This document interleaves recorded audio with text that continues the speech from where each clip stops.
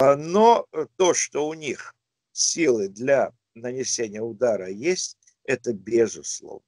То, что армянская армия гораздо слабее, это тоже. То, что армия, э, армия не прошла достаточного обучения э, ведению современных военных действий, это как было перед э, Второй Карабахской войной, так и осталось по сей день.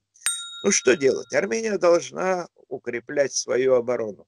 Армения должна перестроить свою армию, сделать ее маленькой, но сильной, мобильной, хорошо вооруженной а это требует времени, в том числе обучения персонала.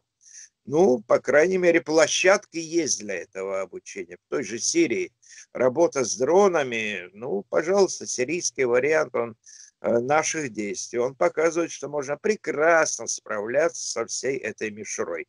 Ну да, действительно, некоторые из них это просто так вот на коленке сделанное летающее средство из пластика, пластмасс, или даже дерево, кстати, даже такие были, но с начинкой, с электронной современной начинкой, которую, естественно, э, все эти бородачи исламские выдали бы, сами сделать не могли.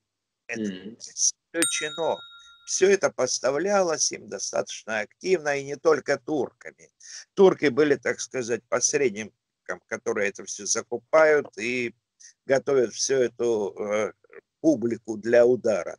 Но, кстати сказать, публику надо было останавливать в Сирии, потому что сейчас она в Карабахе. Более двух тысяч боевиков там все-таки есть. Семьями туда их переселяют, потому что надеяться на то, что сейчас будет массовое переселение так называемых азербайджанских беженцев, не приходится. Я благодарю вас за ваш лайк. Я благодарю вас за подписку.